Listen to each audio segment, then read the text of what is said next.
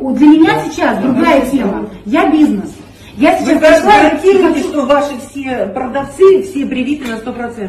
Нет. У меня 80% Нет, уже работают. мои продавцы, которым до 25 лет, Ну. категорически отказались, потому что они хотят быть мамами.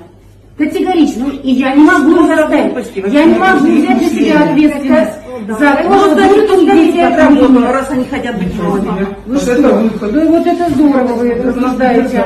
У нас и так э, молодежи съехала вообще в Крым и в Сочи. То есть так- такого, э, такого дефицита кадрового не было никогда вас. Поняла. Людмила Николаевна, скажите, пожалуйста, если быть конструктивными, да, какую непосредственную помощь вы видите от бизнеса, ну, на, э, которую мы можем оказать Вот для все, того, что лежит на поверхности, если вы хотите открыться, Мгм. то вы должны, ну, будем так говорить, каким-то образом заверить, что ваша деятельность будет безопасна. То есть вы должны быть, сотрудники должны быть все привиты.